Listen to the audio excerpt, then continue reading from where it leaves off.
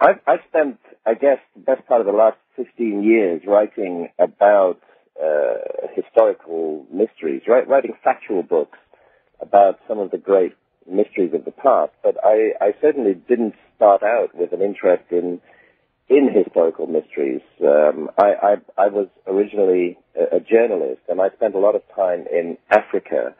Uh, I was the East Africa correspondent for The Economist, and based in Nairobi in Kenya, and traveling very widely uh, around that region. And back in the in the 70s and through most of the 80s, my uh, my interest was totally on current affairs mm-hmm. uh, and and politics and uh, wars and famines and everything that one must deal with in uh, in, in, in the African context. Right. Um, what happened was that one of the countries that I used to visit very regularly for, for, for my work as a journalist was Ethiopia. Ethiopia was very much in the news in the 1980s yes. for, for sad and unfortunate reasons. Yeah. Terrible, a terrible famine and, and terrible series of, of, of wars yeah. racked the country um, and, and made it a, a, a, miserable and dangerous place to live during the 1980s. But I, I had to go there very, very regularly for my work. And while I was traveling in, in northern Ethiopia, uh, I visited a, a, a, historic city called Aksum.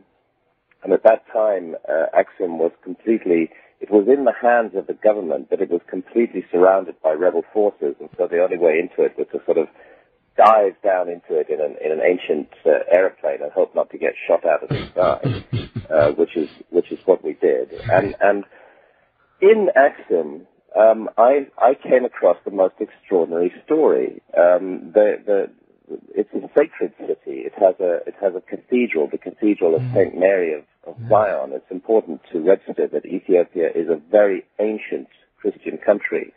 Uh, and in fact, it, it adopted Christianity long before Europe and and uh, Britain did, for example. Mm-hmm. Ethiopia is one of the oldest Christian countries on, on earth, and and in Axum, uh, I found talking to the monks and the priests of Axum uh, this, uh, the, the, that they were making the most amazing claim. They, they said that their city was the last resting place of the Ark of the Covenant. Right, right, right. Uh, now this is this is the same Ark of the Covenant that uh, that we're all familiar with from the wonderful Indiana Jones movie mm-hmm. Raiders of, of the Lost Ark, which had been released actually not long before uh, I went to Aksum, so I immediately pricked up my ears and thought, what, what, what on earth is this about? And I, I was taken to a, a, a chapel surround, surrounded by steel railings in the, in, in the, the courtyard of the, of the uh, Cathedral of St. Mary of Zion. And there I met an ancient monk who, who was the guardian of the Ark, and he explained to me very solemnly that in the building behind him was the Ark of the Covenant, really? and it was his role, his responsibility, his sacred trust to guard and protect uh, the Ark of the Covenant. And could I see it? No, certainly I could not see it. As a matter of fact, nobody was allowed to see it uh, except him.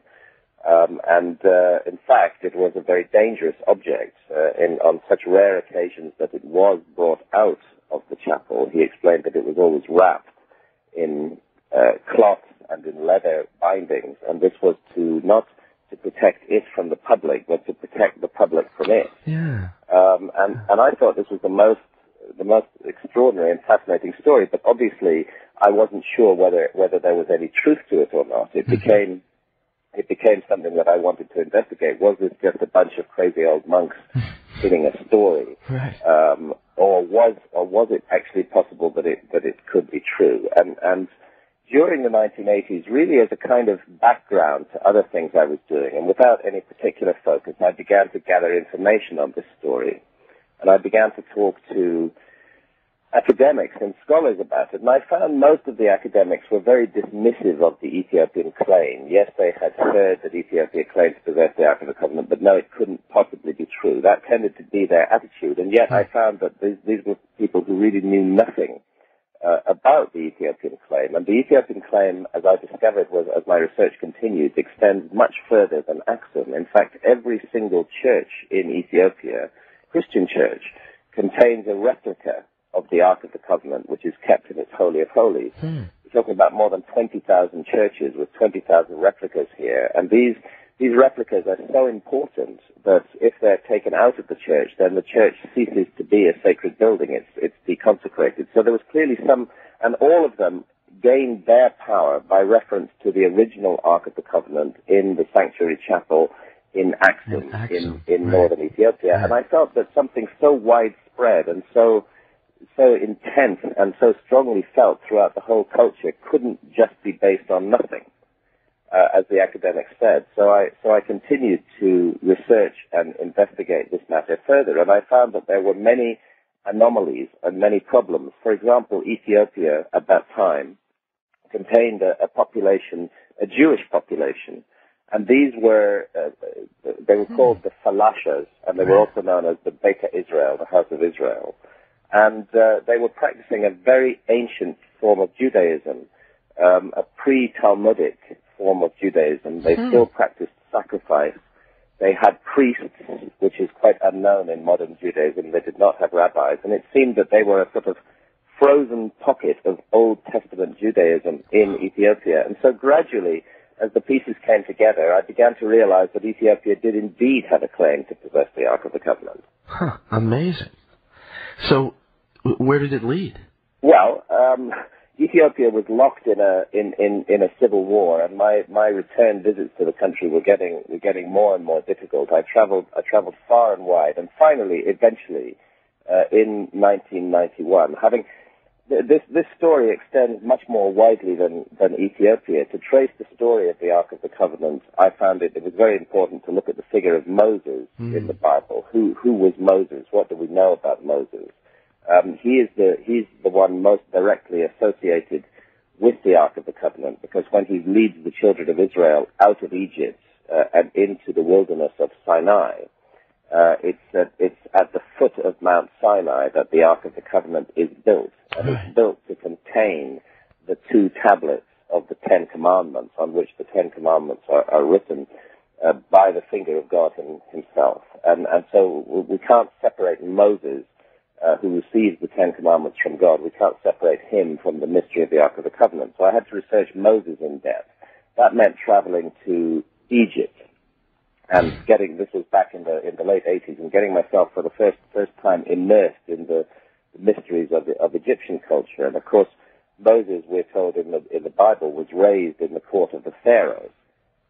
This meant that he would, he was raised groomed as a, as a pharaoh. Right, And as right. such, he, he would have been um, initiated into all the secrets and mysteries of Egyptian magic. Okay. And I, and I discovered that there were, in fact, in ancient Egyptian tradition, there are many objects which sound like the Ark of the Covenant, golden boxes Hmm. uh, containing some mysterious, uh, so, so, some mysterious stone.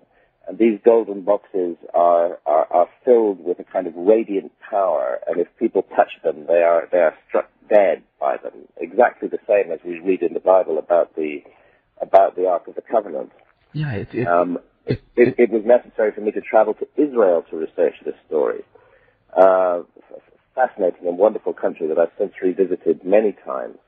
talked to scholars in Israel, and, and as I began going into this matter with, with biblical scholars, I realized that there was a real problem because the Ark of the Covenant is mentioned in the Old Testament um, more than 200 times. right. Um, but at a certain point, it just disappears from the story. Hmm. And that disappearance from the story um, is round about 650 before Christ. It just vanishes completely from the story. And hundred years later, uh, the city of Jerusalem is invaded and destroyed by the Babylonians. But at that point, it's clear that the Ark of the Covenant has already gone missing. The Babylonians don't get it. It isn't listed amongst the objects stolen from the temple by the Babylonians. So at that end, too, there's a great mystery. This object just vanishes from the story. And, and I began to realize that there was a strong case that it could have gone to Ethiopia. And, and I investigate that case in great depth in The Sign of the Seal. All right, yeah, yeah. Now, I- I've got two questions for you with regard to that. The first one is, uh, in the literature, is there any reference whatsoever that it, that it did disappear, or, or is it just sort of vanish without without anybody even discussing the fact yeah, that it there's a, vanished? there's a quotation in Jeremiah where he, where he, and this would this would put us around about 650 years before Christ, where he is lamenting, uh, effectively lamenting uh, the loss of the Ark of the Covenant. It's a it's it's it's a passage that's not widely noticed and Hmm. sometimes interpreted in other ways by biblical scholars, but it's pretty clear to me. Okay. And and what's intriguing is that exactly at that time in Israel, we had a, a king uh, on the throne of Israel who is reviled in the Bible for his appalling and, and dreadful acts, and he's called Manasseh. And he persecutes the priests and the prophets, and it's said that the streets of Jerusalem run with blood, and he does something which is just unbelievable in the traditional Judaic context, which is he in, in, installs a pagan idol, a huge pagan idol, in the Holy of Holies of the Temple of Solomon itself. Hmm. Now, the Holy of Holies of the Temple of Solomon is meant to contain only one object, and that object is the Ark of the Covenant. In fact, the Temple of Solomon was built as a house of rest for the Ark of the Covenant of the Lord. And biblical scholars agree that the, the, the loyal priesthood at that time, the priesthood of the Ark, could not have allowed the Ark of the Covenant to remain uh, in the temple uh, when it would be defiled uh, by the presence of a, of, of a pagan idol. And so it seemed that there was a very high possibility that this was when the Ark of the Covenant was removed from the temple. It was removed in order to protect it from pollution by this pagan idol.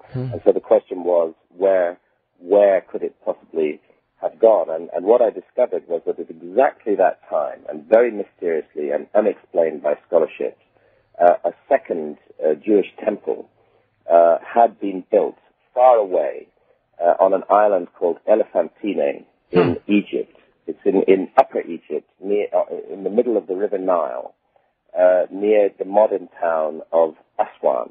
Okay. And this temple, we know from from records that have survived that it had exactly the same dimensions as Solomon's temple. But in the in the Judaism of the time, it was really extraordinary and inexplicable that a temple should be built anywhere outside Jerusalem. There was only supposed to be one temple, and that was that was Solomon's temple. And the only possible justification for building another would have been to house the Ark of the Covenant. So, so my my explorations then took me in that direction to, to southern Egypt and to this island where where this Jewish temple was built. Now, of course, what lies beyond southern Egypt are the deserts of the Sudan, and soon after, soon afterwards, the mountains of Ethiopia. Mm. Uh, and the Blue Nile, the Nile River system is made of two rivers, the Blue Nile and the White Nile, which join um, in, the, in Khartoum in Sudan. The Blue Nile originates in Ethiopia, and it originates on a, a, a wonderful lake in the highlands of Ethiopia called Really? Lake Tana. Interesting. And so I had to go, went off to Lake Tana, and there I found again more stories about the Ark of the Covenant and, and an island where they claimed that the Ark of the Covenant had first been brought before it was taken to Axum. And finally I had all the pieces together and I had to go, to cut a long story short, and I had to go back to Axum in the middle of the Civil War. Uh, it involved a, a, a nine-day journey from the Sudan, across the deserts of the Sudan, uh, up into the mountains, this all by four-wheel drive vehicle, driving only at night because the Ethiopian Air Force was constantly bombing the roads during the day. My God. At this at this point, I was traveling with the guerrilla movement, the, Tigray People's Liberation Front, as they were called at that time. Um, they they they kept me kept me safe and took me on this extraordinary journey through the mountains and eventually back to Axum, where I was once again able to confront the guardian of the Ark of the Covenant, and uh, who, who who told me amazing things. Amazing. Incredible. Let me ask you this. There seems to be a reference uh, throughout many different sort of traditions about it, the ark being some sort of technology almost. And you, mentioned that there's this sort of, uh, it certainly has an effect, a physical effect that there seems to be concern about. Uh, maybe you could expand on that a little bit. Do we have any idea what, what, what this thing might have been or what it was used for? Or? I, I, I do go into this at some at some length in the Sign of the Seal, and I was more or less obliged to do so uh, by the evidence that is found in the ancient text. You know, when I was when I was studying the background on the Ark of the Covenant, the Bible itself is, is of course a huge source of reference on this subject. right? But there are much, there are many other sources outside the Bible, uh, in particularly in Jewish legends and traditions, which add to our information about the Ark of the Covenant. And really, everything that we can read about it, uh, were it to be applied to a mod- modern object, we would immediately say this is a piece of technology. This is uh, this is something very powerful with a, with an energy source that perhaps we don't fully understand. There are accounts of the ark lifting up off the ground and flying uh, towards the enemies of Israel. As it does so, it emits a moaning uh, uh, sort of sound, a kind of howling sound as it goes as it goes through the air.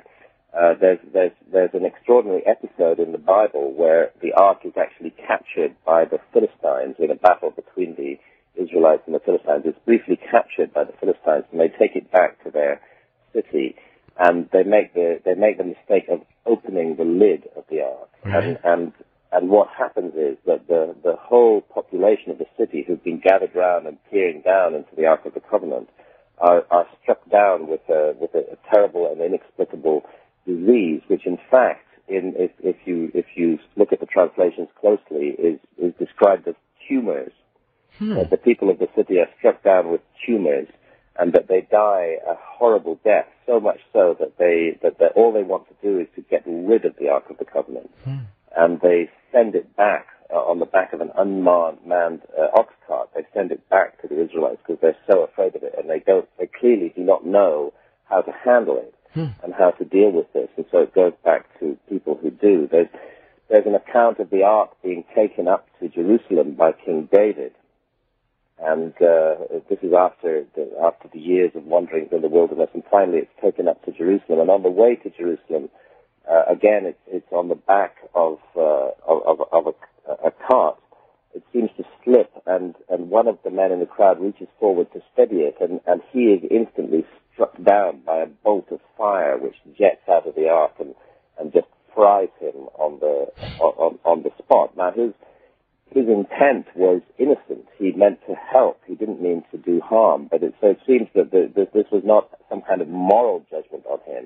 This was just something inherent in the properties of the Ark of the Covenant itself, that it has these, hmm. these incredible, this, this incredible energy source and Right. the power jets out from it. And so from, from a compilation of many different accounts like this, I, I began to wonder seriously, could this be some kind of object of technology? And if it's an object of technology, how do we explain that? And I'm, I'm convinced the answer to that lies in the mysteries of ancient Egypt, the, the overwhelming evidence that ancient Egypt uh, received a legacy of knowledge from, a, from an earlier culture, and that maybe objects like the Ark of the Covenant were part of this of this legacy of knowledge. I don't mean to put down its sacredness, uh, its connection to God. All of that uh, is there as well, but but just an objective study of the character of this object says to me technology of some kind that we don't understand.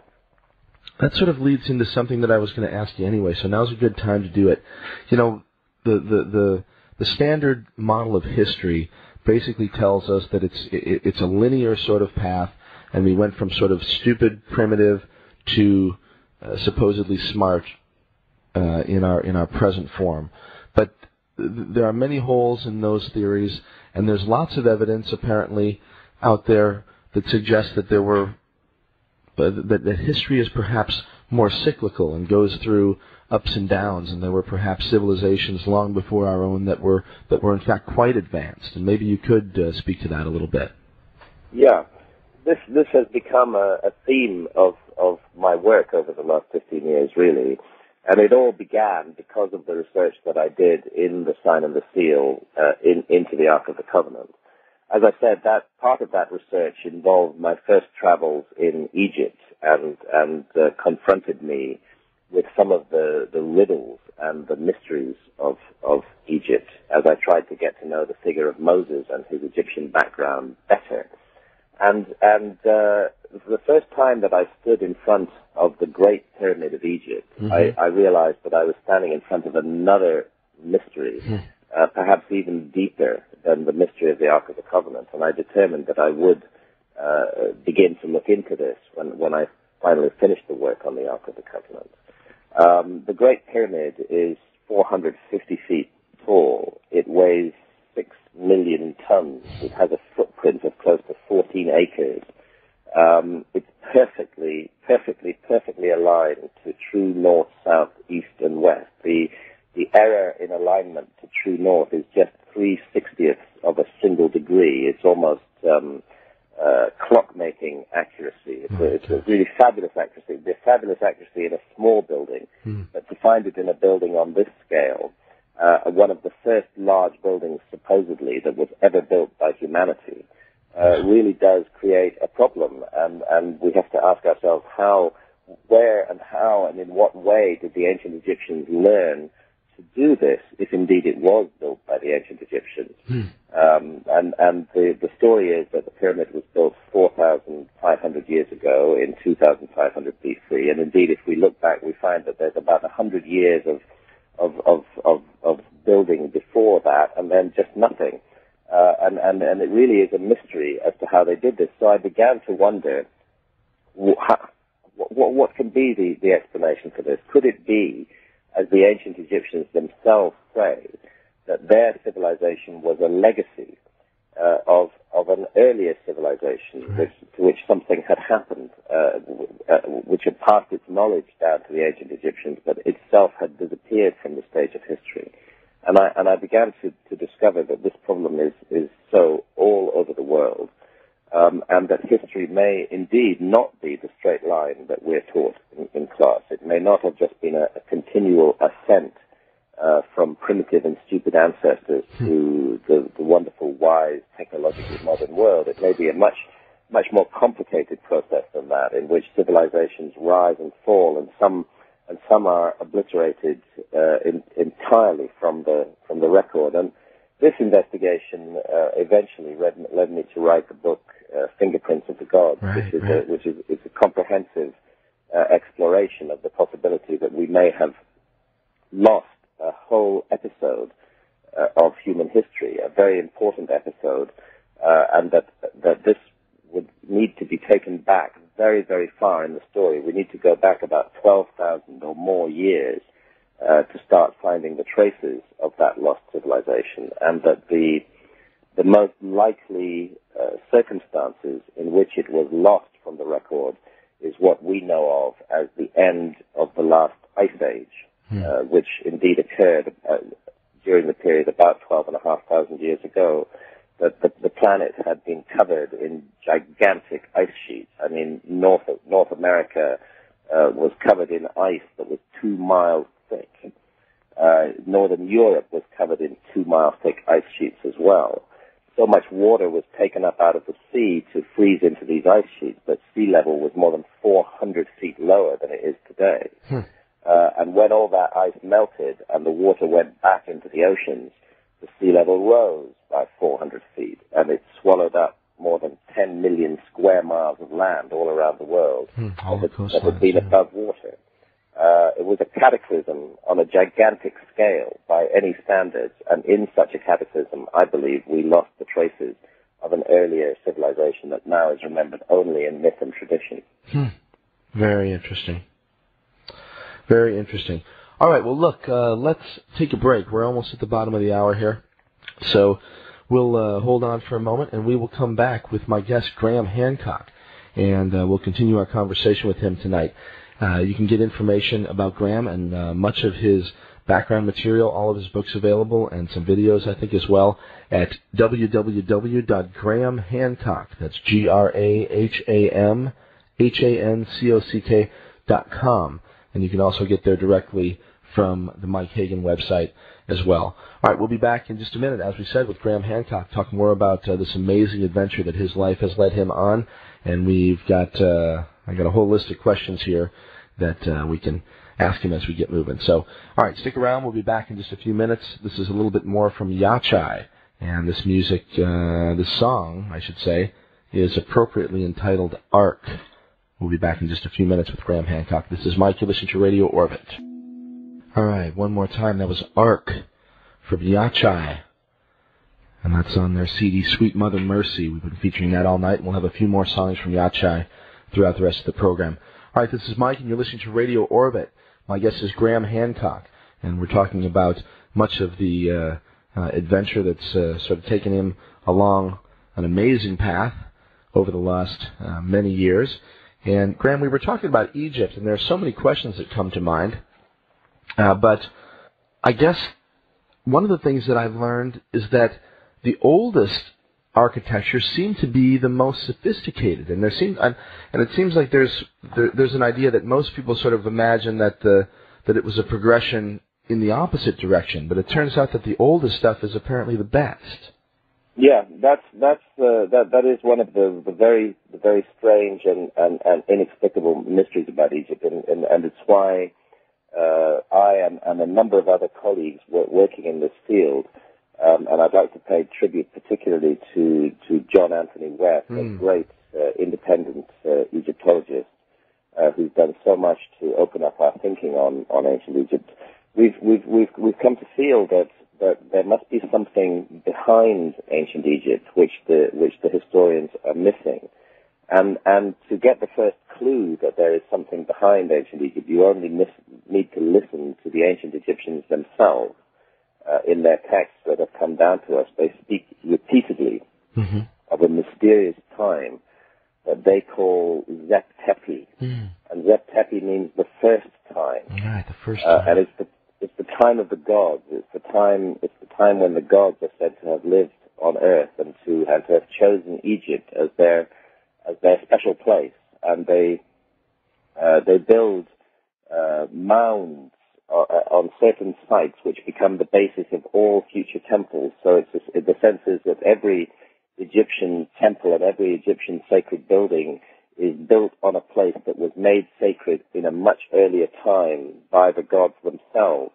And I think partly it's this process of construction and reconstruction on very ancient sacred sites that has led to the confusion about the antiquity of Egypt in, in the minds of, of scholars. Scholars are determined that it all begins uh, around uh, 3000 BC, which is 5,000 years ago, mm-hmm. and just aren't open to the idea that there might be an earlier layer or level of civilization uh, in ancient Egypt. But if you go to Giza, where the three great pyramids are built, you can see this uh, confusing picture very clearly because there's no doubt that, that large parts of the superstructure of the three pyramids at Giza uh, were indeed created by the ancient Egyptians in the time frame that scholars say, which is the, the period of around 2500 BC. Mm-hmm.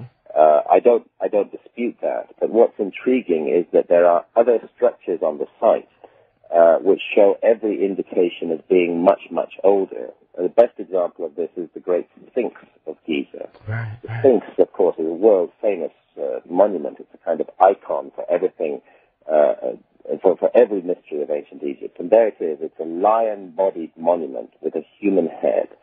It faces exactly due east. It is carved out of solid rock.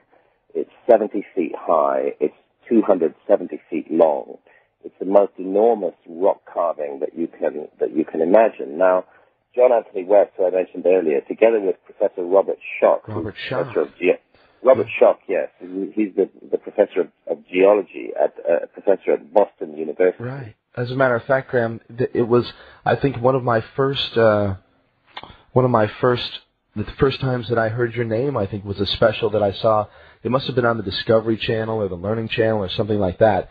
Uh, but it was yeah. with you and uh, and Robert Schoch and and yes. and John Anthony West, if I remember correctly, and it was amazing and it blew my mind. And I, and that was when I bought uh, I, the first book that I bought of yours. So anyway. Right. Yes, we've worked together uh, quite quite a bit, and I was I was in fact recently in the U.S. at a, at a conference with uh, with with Robert Schoch. Um, he's um, what, what's what's important to note about Robert Schoch is first of all he is an absolutely established, tenured, mainstream academic scholar. Right. Uh, and secondly, he has been willing to consider possibilities that other scholars have not been willing to consider. And, and Robert has been driven towards considering these possibilities strictly by the scientific evidence. Mm. Nothing else. He has no preconceptions, nothing that he's trying to impose on the data, but the scientific evidence convinces him that the Great Sphinx is much older than Egyptologists believe. Mm. Egyptologists believe that the Great Sphinx was built in two, cut out of solid rock right. in 2500 BC, four and a half thousand years ago, but the patterns of erosion and weathering on the body of the Great Sphinx and on the sides of the huge trench of rock that it was cut out of, Mm-hmm. Uh, it, there's unmistakable marks of, of weathering by very, very heavy rainfall over a very long period of time. Hmm. And, and we have excellent studies of ancient climate now, which geologists have conducted. And those studies tell us that since the, that in the last 5,000 years, Egypt has received very little rain.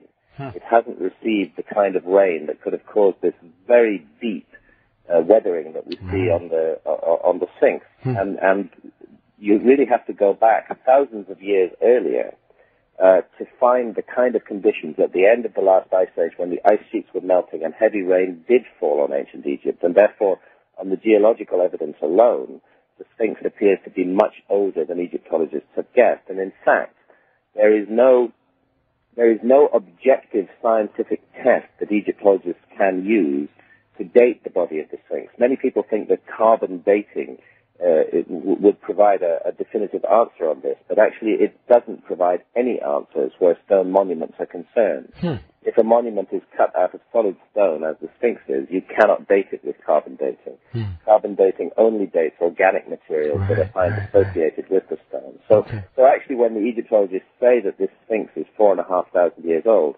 they're just expressing their opinion. They aren't expressing a fact. And, and Robert Schoch has provided very important counter evidence uh, to this Egyptological view and suggested to us that the Sphinx may be much, much older than, than, than we believe. There are other huge structures at Giza, so-called mortuary temples, the temple of the Sphinx itself, which are made of gigantic blocks of stone. These blocks weigh as much as 200 tons each, like a, like a huge diesel engine on a train. My gosh. They've, they've been they've been lifted uh, into into position tens of feet above the ground, perfectly uh, perfectly jointed and connected to one another. It really is like the work of giants. Hmm. And in the case of the Sphinx temple, we know that whenever the Sphinx was built, that was the time that these gigantic temples were built because they're made from the same rock that, that was cut out to Okay. create the body of the Sphinx. All right. And therefore, if the Sphinx is older, then the temples are older. Now, now Hmm. we ourselves in our culture today cannot very easily move blocks of stone weighing 200 tons. We can lift weights of that of that size, but it involves gigantic cranes, Right. very very high technology, and often takes weeks to get into position for a single lift. Hmm. And here we have whole buildings created out of these absolutely enormous blocks of stone, and by all the, the, the geological evidence, way before anything that we call history uh, began.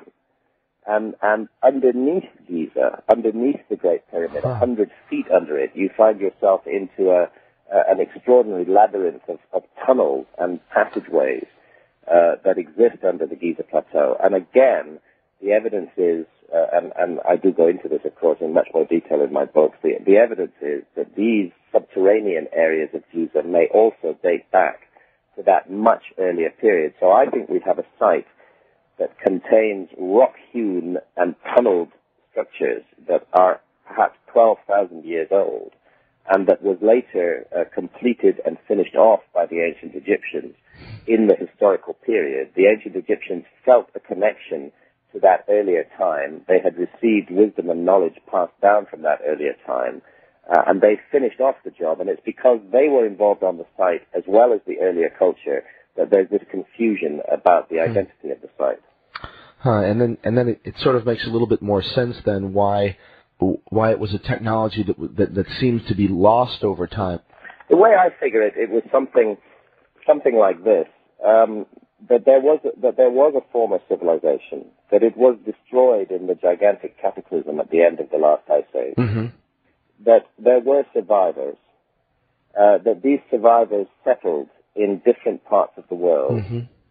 that they did not immediately attempt to rebuild their whole civilization in the way it had been before. Possibly they felt that they had angered the gods. Possibly they felt that they should not try to go that route again immediately. Uh, I think what happened was that they established something like uh, um, monasteries Hmm. in various locations, one of those locations being, being Giza in Egypt. Okay.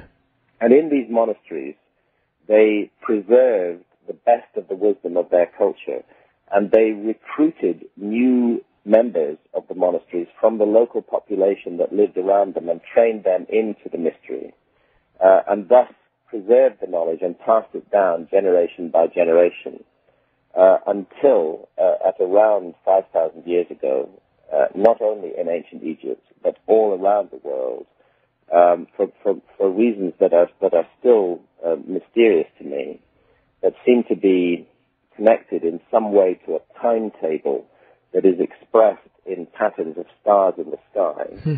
that they switched on ancient Egyptian civilization just like a light being switched on. Hmm.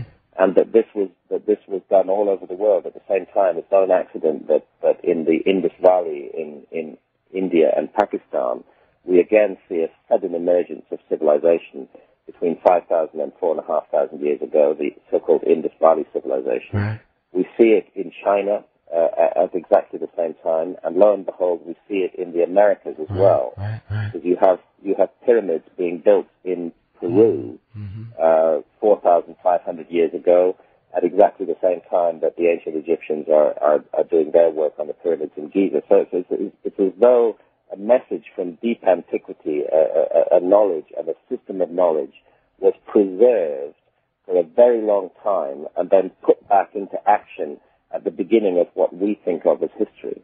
All right, interesting. Um, with regard uh, to Giza, well, actually, I, well, I'm going to close one circle. Actually, you mentioned that uh, uh, you you were talking about Moses earlier, and so yes. so Moses would have been one of these initiates uh, that you just spoke of that that, that would have would, would have been a, a, a holder of some of this knowledge.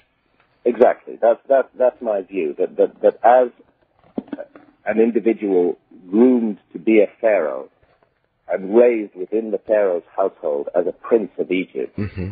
uh, he would automatically have been initiated into the high wisdom of ancient Egypt. Right. And this high wisdom was the wisdom of the gods, as the Egyptians saw it, which had been passed down since the first time, since the, that period that they called Zep Tepi, right, which had been passed down for the benefit of mankind. And so, and so Moses would have inherited and been trained and taught in this, uh, in this system of knowledge. And that may explain why the Ark of the Covenant uh, is, is such, a, such an extraordinary object and does the mm. things that it does. Hmm. Uh, bec- because the knowledge for that came out of that heritage, that, that legacy that also created mysterious monuments like the like the pyramids of Egypt, which we would find very hard to build today. But it was a high technology of a kind uh, from from deep in prehistory, and therefore it's not it's not an accident. It's obviously intriguing that other objects like this are described in the ancient Egyptian texts.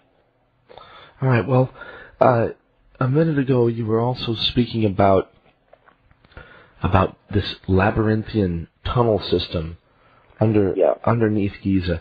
Now, uh, I remember a few years ago actually there was quite a bit of talk about it. There was a sort of a buzz on the internet, and I read a lot of stories about this, that, and the other thing. But it sort of quieted down or something, and I don't know. I just I, I'm curious about it. Maybe you could give give us your take on on what's happening. Yeah, there's something there's something odd going on. You're right. There was a buzz uh, about this. The buzz really began uh, in the early 1990s, about the time that, that John West and Robert Schoch, uh, myself, and also uh, another very close friend of ours and a co-author with whom I've worked several times, Robert Bauval, mm, sure, all of us sure. were, were, were focusing on the the, the, the, the mysteries of the of, of the Giza Plateau, and at exactly that time, uh, a German engineer called Rudolf Gantenbrink, mm.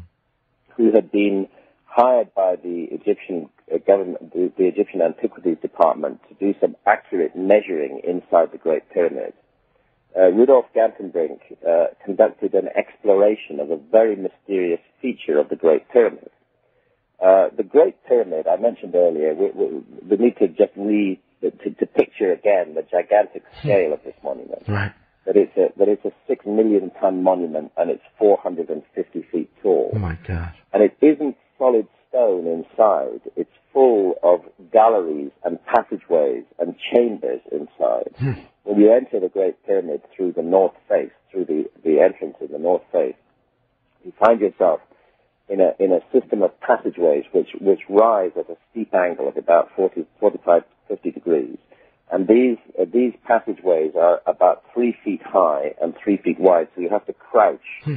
uh, as you as you walk up them, as you labour your way up them very very steeply. Right. And then you find yourself at about about a quarter of the way up the height of the Great Pyramid, but you're inside it. You find yourself that this narrow entrance passageway opens out into a huge gallery, and this is called the Grand Gallery.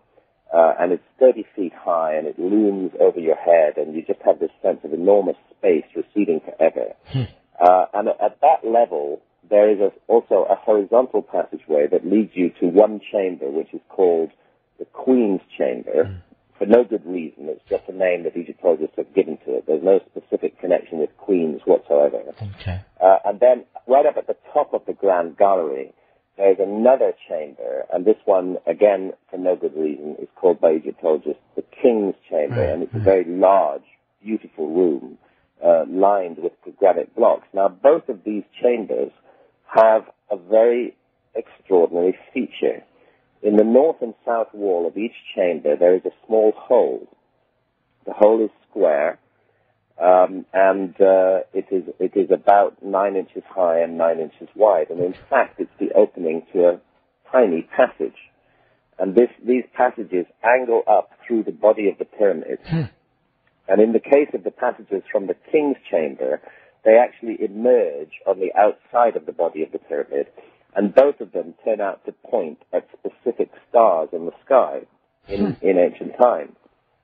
The ones in the queen's chamber, further down the Great Pyramid, it also has two shafts like this, one going north, one going south. But they do not emerge on the outside of the pyramid. They stop somewhere inside the pyramid. And so this German engineer, Rudolf Gantenbrink, designed a robot. And the purpose of the robot was to explore these shafts.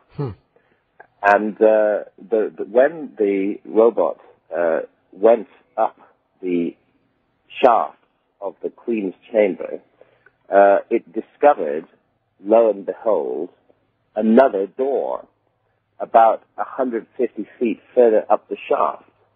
Uh, another door with metal handles, uh, leading who knows where. Uh, there was a sense that behind that door there might be some great uh, discovery to be made, if only it was possible to access it. That it was like a tantalizing puzzle that the ancient Egyptians had set us almost as though they were waiting for the time when we could develop the technology to explore these shafts because they can only be explored with technology. They're much too narrow to put a person inside. Um, and this is where the, where the real problems began because as soon as that discovery had been made, the Egyptian authorities closed the research down and wouldn't allow any more research to be done uh, on the site. Now, there is talk that a new robot has been has been designed. In fact, I know for a fact that a, a new robot has been designed, and it's been designed at the University of Singapore. Uh, they're working closely with the Egyptian antiquities authorities, and I would expect within the next six to nine months that we are going to hear um, reports of what that robot finds. It needs to be able to go through that second doorway uh, and search into the cavity that lies beyond it. But uh, we will definitely be hearing more about this later this year. Not later this year, within the next six to nine months. Whether what we hear is the whole truth is, is, is, another matter because there has been a great deal of secrecy uh, surrounding this investigation ever since that first robot was sent up the shaft. It's almost as though the powers that be do not want us to know what's going on, and we can't even be certain that explorations have not taken place already, which we haven't been informed about. The same goes uh, for work around the Sphinx. Uh, John Anthony West and his team conducted seismic survey work around the Sphinx, and their with with uh, Robert Schoch, and their seismic work uh, indicates very clearly the presence of a large chamber underneath the left forepaw of the Sphinx in the bedrock, a very large regular cavity. Uh, now, one would have thought that, that archaeologists would have been rushing from all over the world to explore that chamber and find out what is in it. Right. But in fact, again, no further research has been allowed, at least officially, Hmm, uh, since that since that time, which obviously raises raises legitimate suspicions uh, that something that we don't know about uh, is is going on here. Uh, particularly since there are traditions in ancient Egypt of a kind of hall of records, a right. hall of archives, right, right, preserved preserved from the time of the gods. Uh, what a what what what a likely location it would be that we might find that hall of records either inside the Great Pyramid or underneath the body of the Great Sphinx. So these are intriguing areas of inquiry, but unfortunately, uh, the, the, detailed open research that needs to be done so far has not been done to follow any of this up. Hmm, amazing, absolutely amazing. Yeah, because you would think that uh, that it would be, you know, if if the spirit of science is really alive, right? Uh, then, yeah. then then then that would have been uh, it would have been something that happened almost immediately. But obviously, there's somebody putting the clamps on.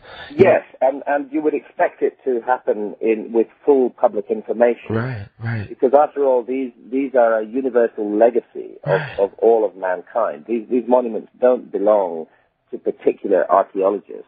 Right, it's or even to particular governments. They're, they're, they're a universal legacy of the whole of mankind. We all have an interest in knowing uh, their, their, their secrets. Their secrets have been preserved, you know, for a reason up to now.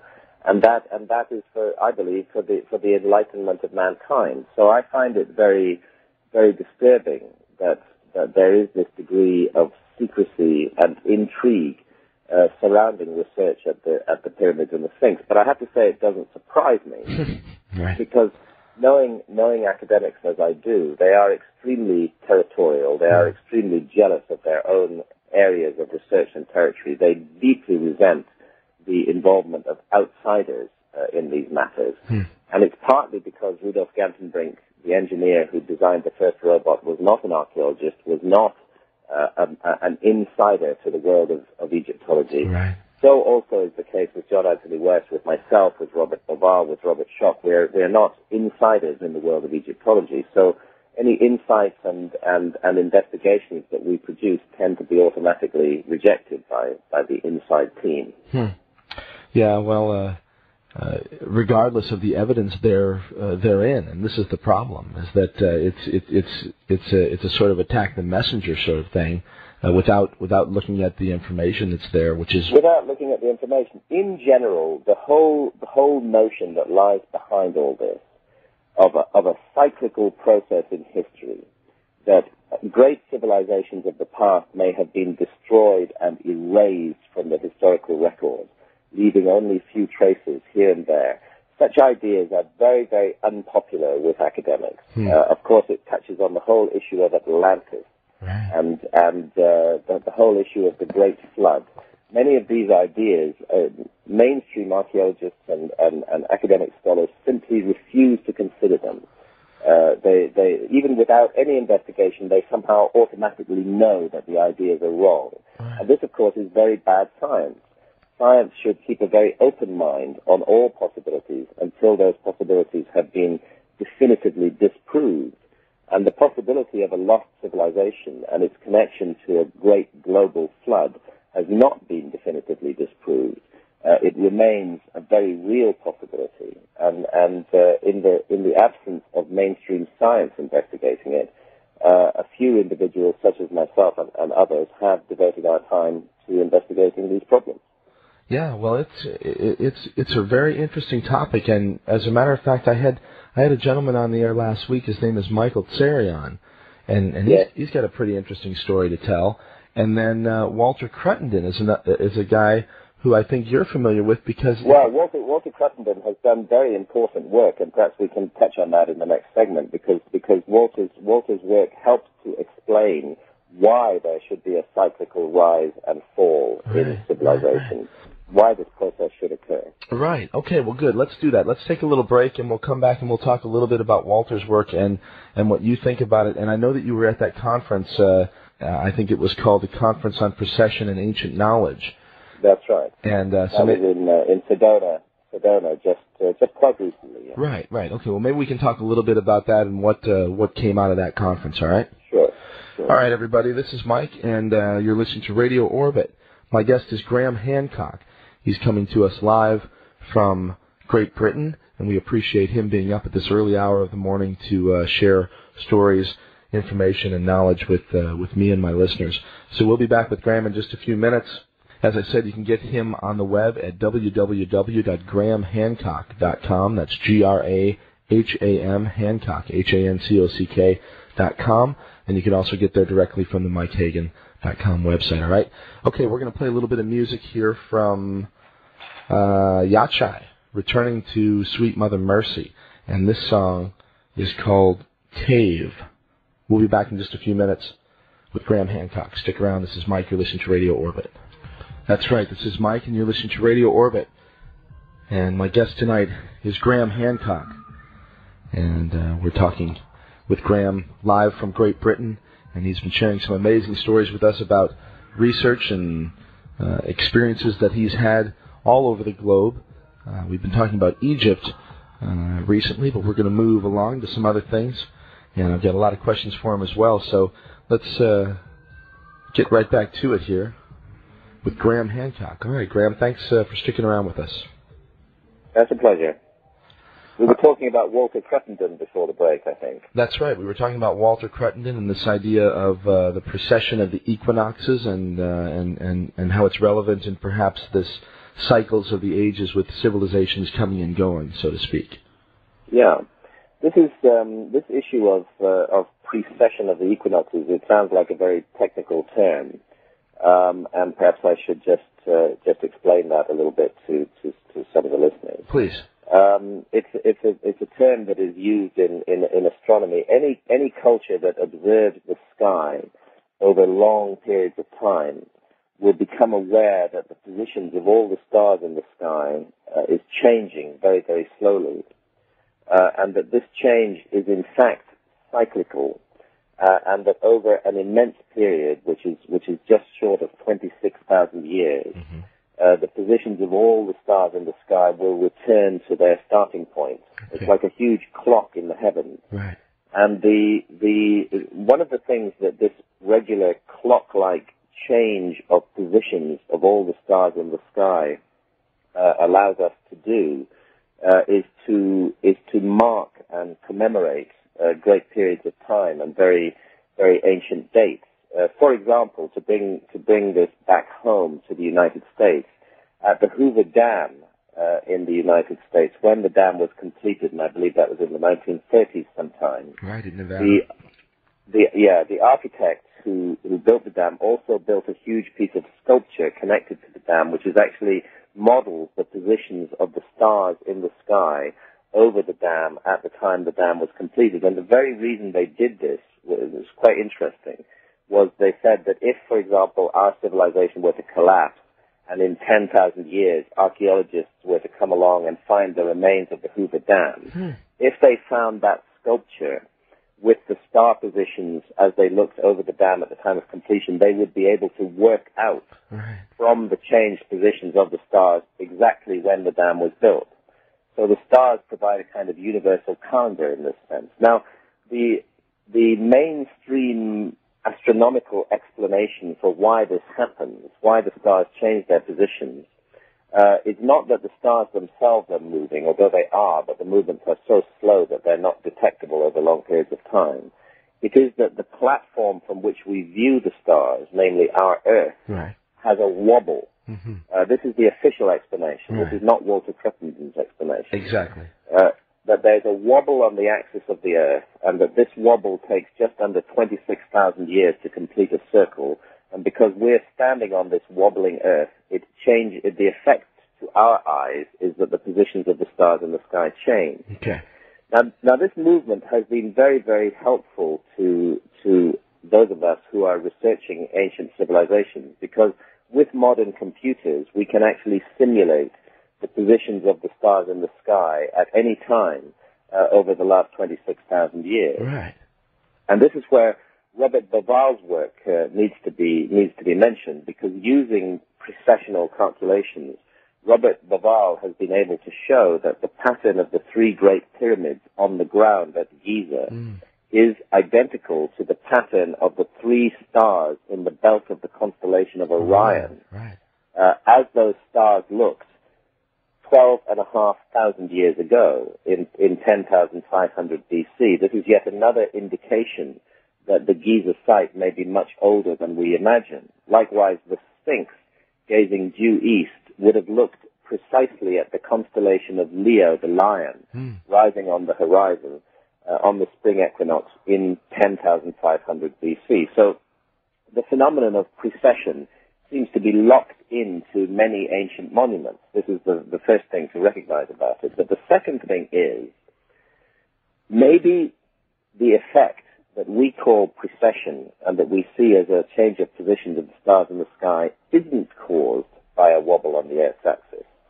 That wobble on the axis of the Earth is only theoretical. We don't know for sure that it exists. It's been invented in order to explain the phenomenon that is observed. And what Walter Cruttenden, uh, who I believe was your guest before, at the Binary Research Institute has done Right. is he's come up with a whole new theory for which would equally well explain the changing positions of the stars over a cycle of 26,000 years, but would also explain why in that enormous cycle civilizations might rise and fall. Fall. Yeah, And this explanation, this explanation, to cut a, a very complicated story very simple, uh, is that our sun is locked in an orbit around another star. Uh, in fact, most stars in the sky are parts of binary systems, as they're called. Right. And the suggestion is that our star, which of course carries all the planets with it, including the Earth, is involved in a great circular orbit around the heavens, an orbit that takes 26,000 years around another star. And the suggestion very much is that that star may be the star Sirius. Hmm. And the star Sirius, by the way, was also extremely important to the ancient Egyptians. They associated it with their goddess Isis. Right, right, right. And if this were the case, if the sun is orbiting on a huge track in the heavens, carrying the earth with it, this would equally explain the changing movements of the stars as seen from Earth on that 26,000 year cycle. But the suggestion is that during the course of that orbit, our planet might pass through regions of space where it is subjected, for example, to much more intense or less intense electromagnetism Right. than is the case today, uh, and that these electromagnetic effects or other more physical effects may be the reason why civilizations rise and fall, that this may have an effect on, on uh, human culture. Uh, and it is, it is by far the most rational explanation that I've, that I've come across uh, for uh, the, the mysteries of the great cycles that seem to operate in human history. And fortunately, Walter is, um, is, is really continuing to investigate this subject in depth. He's published a book on it called The Lost Star of Myth and Time That's right. uh, which is which is available on on uh, Amazon. Um, and Walter's book uh, lays out in great detail the the very solid scientific basis of his theory, and he has astrophysicists and astronomers working with him. And I suspect we're going to see more and more information out of Walter's Binary Research Institute in the coming years that will further support this theory. Well, I, I agree, Graham. He's doing really interesting work. And for those of you who missed that program, just go over to the archives uh, on the website and you can go listen to that show with Walter Cruttenden. It was from uh, uh, in November. So, yeah, real interesting stuff. In fact, it was right.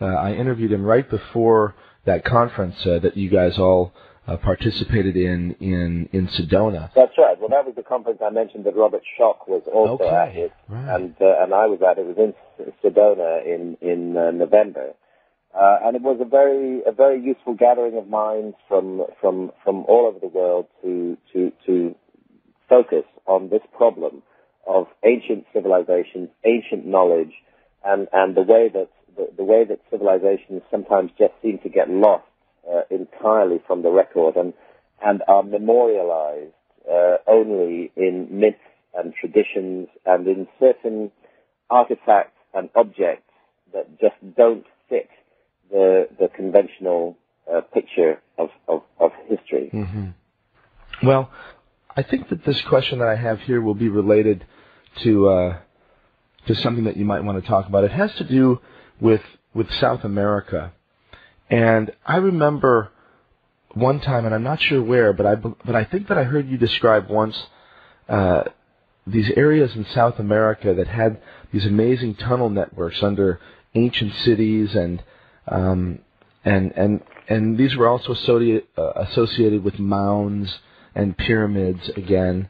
And I don't know, uh, maybe you could talk about that a little bit because it, it, I'm thinking that it ties right back into Giza, like you were talking about well, before. Well, it, it, does. I mean, the, the, the very, very specifically uh, in the Andes Mountains uh, around the cities of uh, the city of Cusco in Peru, and and uh, also the very ancient city of Tiwanaku mm-hmm. in Bolivia.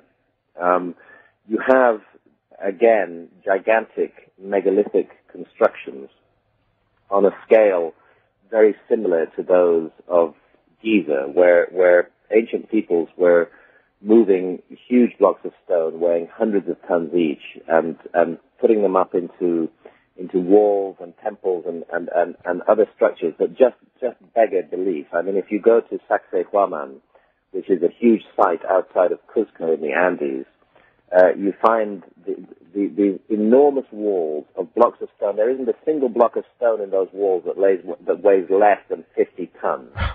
and some of them, and some of them weigh in the range of three to 400 tons. My God. And, and they've been brought distances of tens of kilometers.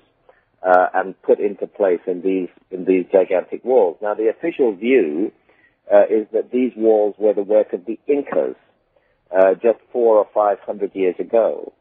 Uh, but in fact, there isn't a single report that connects the walls to the Incas. In fact, the only report that exists is of the Incas attempting to add just one stone to these walls uh, and, and, and dismally failing to do so. Huh. Um, and the Incas themselves, again, did not claim they had built these walls. They said that they were much more ancient, that they'd inherited them, that they built their civilization uh, on top of them. Now, there have long been traditions of underground passageways uh, beneath uh, Sacsayhuaman. And again, the same kind of secrecy that surrounds research at Giza uh, has surrounded research there. But what I think it all uh, it all comes back to, uh, whether it's in South America, whether it's in Egypt, whether it's in China, whether it's in India, what it all comes back to is the hint of a much earlier civilization with technological powers that were later lost. Mm. Uh, and, and perhaps the survivors of that civilization settling at key locations around the world to keep the light of their culture burning. And, and I think that, as I say, whether, whether we see this in, in, in South America, whether we see it in Central America, whether we see it in Europe, whether we see it in Africa, we, what we are seeing are the traces of the same worldwide uh, global uh, civilization. civilization. And I, I honestly believe I've done a great deal of work on this, not only in Fingerprints of the Gods, but also in a later book called Underworld, right.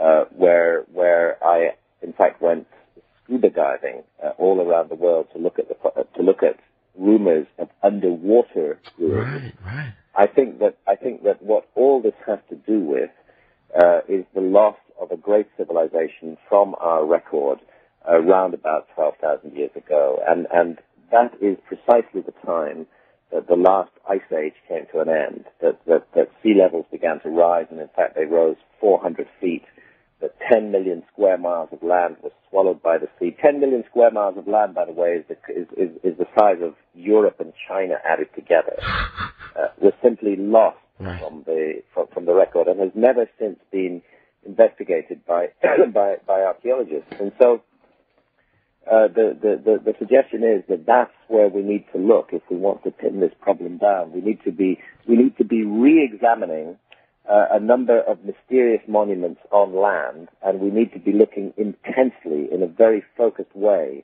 uh, under the water. Because what I found, and, and I, back in 1996, I, I learned to scuba dive so that I could do this research. Uh, also, my wife Santha, who's a, a photographer, Amazing photographer. dive at the same time, and we then spent from 1996 through to the end of 2002 uh, diving uh, I- I- all around the planet. And what we were doing was we were following two lines of research. First line of research was: Is there a myth or tradition in this area that speaks of underwater ruins? Mm-hmm.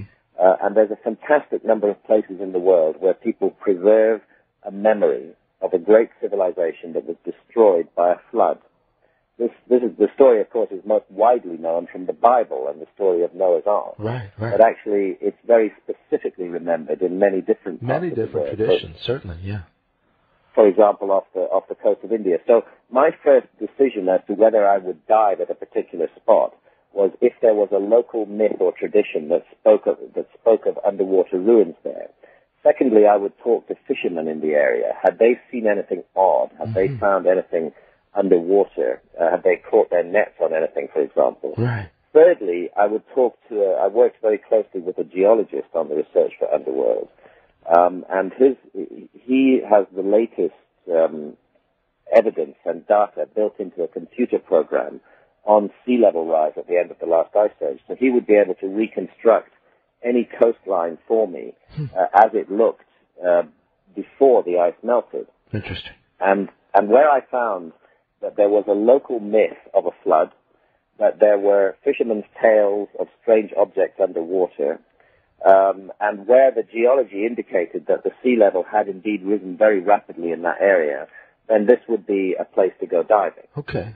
And uh, again and again, we did find most extraordinary and inexplicable ruins underwater uh, in these in these places. And this was basically uh, uh, the, the, the, the, kind of research that, that one author can do uh, is, is just scratching the surface of this problem.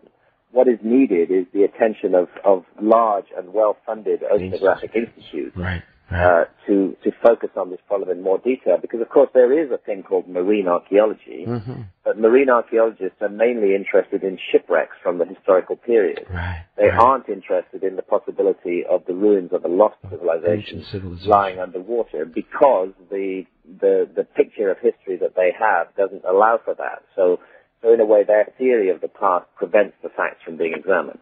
Astonishing. You know i had on my list here i had yonaguni and I also had a question perhaps about Southeast India. And yes. you've, you've sort of uh, begun to address that. Maybe you could talk specifically about uh, about those places. yeah, absolutely. Um, they're both places that, that I dived extensively as part of the research for my book, uh, Underworld. Yonaguni is the most um, southernmost of all the Japanese islands. It's in the um, the Okinawa island group, um, but it's very far south, and in fact, it's closest of all to to Taiwan. And, and on a clear day, you can see Taiwan from Yonaguni.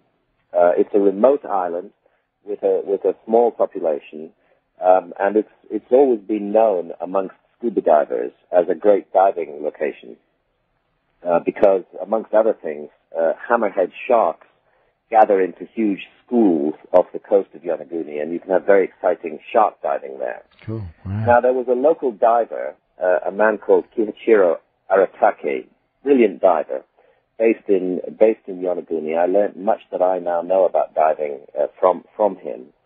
Um, who made an amazing discovery in about 1987. He was checking out new dive sites around the island of Yonaguni, looking for more places to take his clients. Okay and he suddenly found himself at a depth of uh, 27 uh, meters, which is close to 90 feet underwater. He suddenly found himself looking at a huge man-made structure carved into the shape of a of, of a step pyramid with steps up the side. Um, a, a, this gigantic structure looming looming over him. And before his air ran out, he began to explore it and investigate it, and and and just realized that this couldn't be some sort of natural artifact. It, it had to be man-made. Um, and what was it doing 90 feet underwater? Um, very, very, very puzzling. So he went back many times. He started to take photographs of it, and and eventually um, I saw those photographs in in in 1996, and yeah. immediately I decided that I had to learn to dive and go see this structure. Amazing. Since then, uh, since then I've done I would say close to 300 dives on, on the Yonaguni structure itself. Um, and I have, I have no doubt that we're dealing with, uh, with, with a gigantic piece of, of man-made stone carving. Just as the Great Sphinx is carved out of solid rock, so also this object is carved out of solid rock. Hmm. It has beautifully regular right-angled steps uh, all the way up it. It has sculptures carved into the surface of it uh, and it is part of a group of monuments along the southeast coast of the island of Yonaguni, uh, all of which were submerged 10,000 or 12,000 years ago. And at that time, there isn't supposed to have been any civilization in Japan or anywhere else in the world. Uh, the same goes for southeast India. Uh, my wife, Santha, I mentioned she's a photographer. Yes. Uh, her first language is, in fact, Tamil, which is the, the Mm. language that's Right, spoken right. in southern India. Right. Uh, and when we traveled in southern India for our research, she was able to gain the confidence of the local fishermen who talked very openly and freely to her. And they told her that offshore of two places that we investigated, one is called Mahabalipuram and the other is called Poompuhar, that offshore of both of these places there were underwater ruins. And from the fishermen's point of view, the underwater ruins were quite annoying because they would catch their nets on them, and sometimes a free diver would have to go down, take some risks, and, and release the net. Right, right, right. And they said they told lots of people about these underwater ruins, but actually nobody would listen to them or believe them that the underwater ruins were there. So we mounted an expedition um, in, over two years, in 2001 and 2002, uh, and dived on these structures exactly where the fishermen said. And by the way, there's a myth there as well um, of a great city that existed off the coast, and they say that the gods became angry at the beauty and perfection of the city because it was even more beautiful than the cities in heaven, and that for this reason they sent a flood to swallow up the city and uh, take it away. And to cut a long story short, we did uh, discover ruins uh, off the shore in both of these locations. Some of them very deep, down to depths of 30 meters, close to 100 feet underwater. Some of them in, in less deep water. Um, and uh, sure enough, when the tragedy of the of the Indian Ocean tsunami occurred two years later, uh, and briefly the bay in front of Mahabalipuram was emptied out as the waves receded, uh, everybody saw that these ruins that we had found with our diving two years before were indeed there. and hopefully now some serious research will be done to investigate these ruins and find out what on earth they are. Right, that was an amazing story. I remember reading in one of the maybe New Scientist or something like that that uh, yeah, that when the tsunami emptied the bay prior to the wave coming in, that it just revealed this amazing uh, uh, ruinous city. City, underwater, un, un, un, underwater city. And the thing about it is that it goes out much further than just the bay in front of Mahabalipuram. We were diving on structures as much as five kilometers, three miles from the shore. Wow. So we're looking at a very, very extensive uh, remains here, some of which are extremely ancient because they've been underwater for more than 10,000 years. Huh, absolutely amazing. All right, well, look, uh, Graham, I think that's a good time to take another break here. We're just about the bottom of the hour. So let's do that, and uh, we will come back, though, and uh, move along a little bit further, and let's talk about your new book, uh, Supernatural, because, interestingly, this uh, ties in as well, and uh, you've now entered into the realm of the shaman. Yes. All right, well, let's uh, do that. We'll come back in just a few moments. My guest is Graham Hancock, and uh, you're listening to it with Mike Hagan on Radio Orbit. We're going to continue with some appropriate music. Once again, this is Yachai, and uh, with regard to information on the web, you can get both to Graham's website and to Yachai's website, both of them directly from MikeHagan.com. If you want to uh, get directly to Graham's website, just hop on there and go to www.grahamhancock, G-R-A-H-A-M, Hancock, H-A-N-C-O-C-K dot com, and uh, put them in your bookmarks. He's got a wonderful site and covers a lot of this breaking uh, news uh, with regard to these particular topics as well. He's got a great news section over there. So we will be back with Graham in just a few minutes, and in the meantime, one more from Yachai. This is called Mama, a wonderful song that has to do with the vine that we're going to talk a little bit about, I imagine, Banisteriopsis caapi, this uh, particular vine that's combined with another plant, Psychotria viridis, I think it's called. But at any rate, uh, they make this concoction called ayahuasca, and uh, that's what this song is about. So we'll be back in just a few minutes with Graham Hancock. We'll talk about his new book, Supernatural. Stick around. All right, that's Mama from Yachai, from Sweet Mother Mercy, and music inspired by the work and the teachings of legendary Peruvian shaman Don Augustine, who has uh, done wonderful things with my friends Jeff and William from Yachai. And that song is available for download on the website. If you go over to mikehagan.com and just click on the music section, uh, just a page down, you'll see Yachai uh, prominently presented there. And you can download that song Mama from Sweet Mother Mercy. And that's compliments of the guys. So thanks a lot. And the website, of course, is uh, directly available there as well. And on the front uh, page of the website, the link right over to Graham Hancock is uh, the first thing you'll see. And his website is available as well. And we've mentioned that tonight, but it is grahamhancock.com. And uh, put it in your bookmarks, okay? Amazing information there. And we're going to continue with Graham right now and discuss uh, his new book that actually hasn't even been published in the States yet, but uh, it's worthwhile to talk about it because there's amazing stuff inside the book uh, from what I hear and from what I understand from what I've read already. Uh, so, Graham, maybe you can give us a little bit of a synopsis about uh, about your, your your your most recent uh, uh, experience here and, and, and what brought you into the into, into the South American jungles and, and, and to the shaman. Well, the book is the book is called Supernatural, and the subtitle is Meetings with the Ancient Teachers of uh, Mankind. The, the, book is published in Britain. It was published in Britain on uh, in October, uh, and it's also just been published in Canada. Um, but it is not published in the U.S. yet. Uh, it will be published in the U.S. next uh, September hmm. or October, September or October 2006 if anybody wants to get hold of it, they can get hold of it from Amazon.ca. Okay. Uh, the, the the Canadian branch of uh, of of Amazon. Huh. Yeah. Uh, and once again, the, the title is the title is simply Supernatural uh, Meetings with the with the Ancient Teachers of Mankind. Okay. Um, where I went with this book, it well, let me let me begin with a with a with a statement. Uh, the, which is to do with the conclusion that I've come to. Certainly. Which is that inside every human mind, there is a secret doorway. Hmm.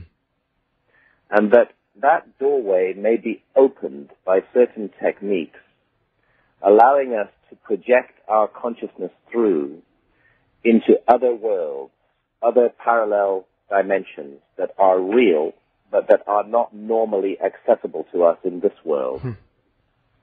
And the evidence that I've gathered suggests that about 2% of every human population has the ability to open this door inside their own brains and go through into other dimensions spontaneously. They can do it without any help. Okay. Uh, and those are the psychics and the mediums, and also, I believe, people who have the experience of being abducted by UFOs and aliens. Mm. I think that what they are experiencing is an interdimensional contact that is made available to them through their own consciousness. Okay. It happens to them spontaneously. For the rest of us, if we want to have those experiences, we need help. We don't just have the, the quite the right brain chemistry to, to access these experiences. And that help uh, has traditionally been available through a range of techniques that have been developed by shamans in traditional societies for tens of thousands of years. Right. These are techniques for entering into what the scientists call an altered state of consciousness. Uh, in some tribal shamanic cultures, this is achieved uh, through rhythmic dancing. For example, the Bushman cultures of southern Africa, uh, their shamans enter an altered state of consciousness in which they are able to contact the spirit world uh, by dancing all night long uh, in a very rhythmic, regular way uh, and, until they become uh, they fall into a deep state of trance. And in that state of trance, they are able to send their consciousness into what they experience as an absolutely real other world filled with spirits and gods uh, with whom they must uh, uh, they must interact. Hmm. And they, they, they believe that whether we like it or not, we're involved with the supernatural realm uh, and that it's much that it's really important that we come to terms with that and learn to deal with the supernatural realm, and that's their technique for doing it. In South America, uh, a different technique is used to alter brain chemistry in the right way, and this technique you mentioned before the break um, in, involves drinking a brew called ayahuasca. Now, ayahuasca is made. There are more than eighty thousand different species of plants in the Amazon And somehow the traditional tribal peoples of the Amazon made the extraordinary discovery that if you mix two of these plants together and cook them for many hours, you produce a liquid that when drunk uh, completely changes the level of your consciousness. Uh, and the two plants in, in, uh, uh, that are involved, as you rightly said, one of them is a bush. The scientific name for it is Psychotria viridis. They call it chacruna in the Amazon. Yeah, chacruna. The leaves, the leaves of the bush contain a very powerful hallucinogen called dimethyltryptamine, DMT, totally illegal in the United States, by the way.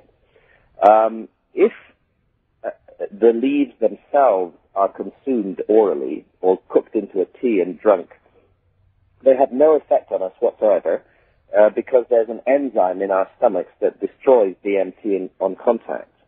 But the other ingredient of the brew, which is the vine called Banisteriopsis caapi, one of these jungle vines that hangs down from the tall trees, it contains a chemical which switches off the enzyme in our stomachs and allows the DMT in the leaves to be absorbed orally. So first and foremost, we are dealing with what with what our scientists call hallucinations here. Mm. this is a this is a, a chemical compound which uh, which gives us hallucinations. Now, the great mistake that our society has made uh, is to believe that hallucinations are just disturbed brain chemistry mm. and nothing else. There's a tendency to despise and even demonize hallucinations in our society. Right uh, and to and to minimize their importance. But the truth of the matter is that our scientists don't have a clue what hallucinations are. They don't understand why, in certain altered states of consciousness, we start seeing things that don't exist in the real world at all, in this physical world that we live in. Right.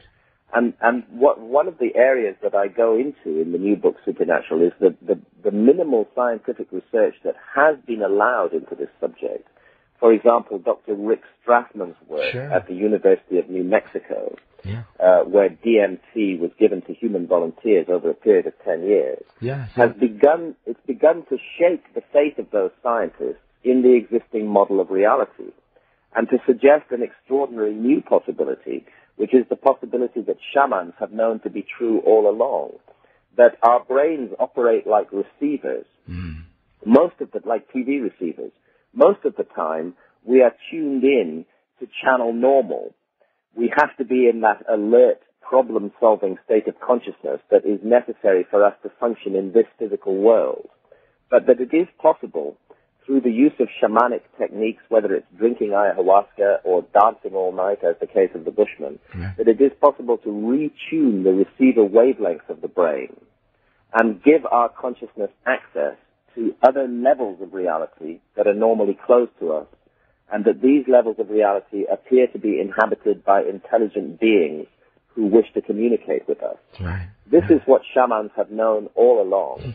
Uh, and it's a, it's a proposition that our society, which is so firmly rooted and grounded in the material world, that our society has difficulty in accepting.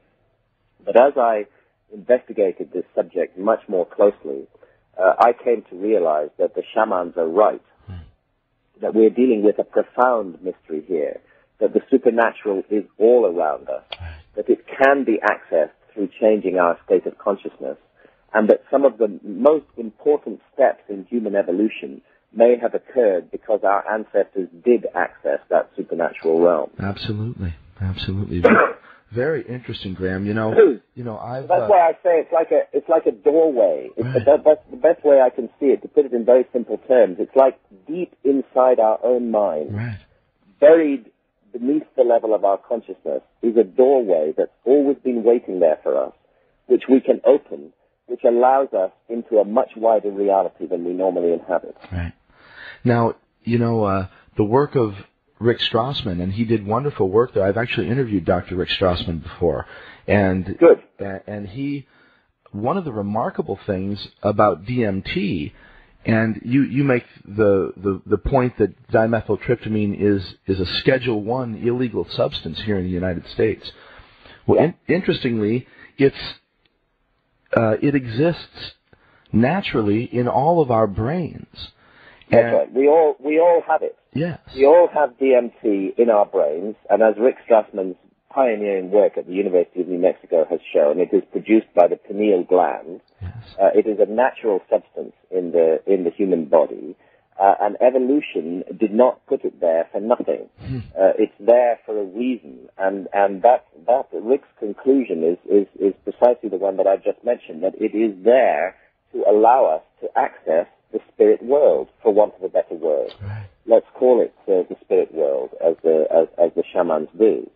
Uh, and and part of part of my, my research has been to show that accessing the spirit world uh, has been absolutely fundamental in human history. That we would not be human if we did not have that ability to access the spirit world. So it may be that our societies, in all their arrogance and scientific pride, may actually be making a terrible mistake hmm. in criminalizing and demonizing the kind of explorations of consciousness that shamans in traditional cultures undertake every day of the week. We, we don't allow those explorations of consciousness. We won't even think about them. We get hysterical and deeply nervous when anybody talks about hallucinogens. Um, this may be a huge error that we're making. We may be defying our own evolution uh, by this this misguided uh, social policy that causes so much misery. Well, I couldn't agree with you more, quite frankly. I think you put it very well right there. So, all right. So this is uh, how how does this tie in? Is is this the, the the primary focus of the book? Well, no. The primary the, the book for me began with a mystery, and and and as as most of my books do, and the mystery has to do with the so-called human career. Uh, I, I accept the basic evidence of, of evolution as regards the, the human story. And, and our first ancestors, you can trace back six million years to the last common ancestor with the chimpanzee. And since then, the human line anatomically has been fairly clear. And what we see is, I'll be completely frank about this, six million years of boredom. Hmm.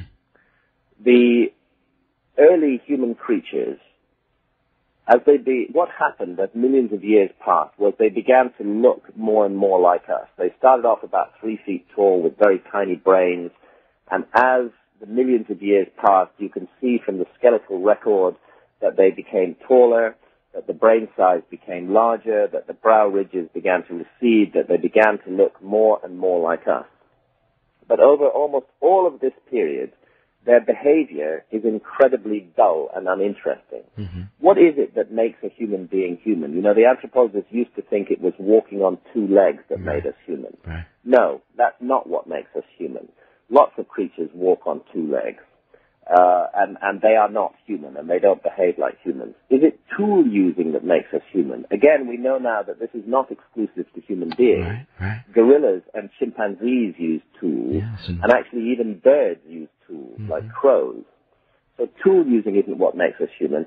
It's, it's the ability to manipulate symbols, to think symbolically, to think in the abstract, to conceive of something that isn't right there in front of our faces. That's the real, that's the real defining quality of the human being. Right. Language. and the plain fact is that you don't see any evidence of that in the archaeological record for almost the whole of our six million year story. Hmm. Even when our ancestors had reached full anatomical modernity, in other words, when they looked exactly like you and me, when their brain size was identical to ours, which starts about 200,000 years ago, even then their behavior was just incredibly dull and boring, with no creativity, no innovation, no sign whatsoever of a spiritual life, no symbolism, no art, no evidence of abstract thinking.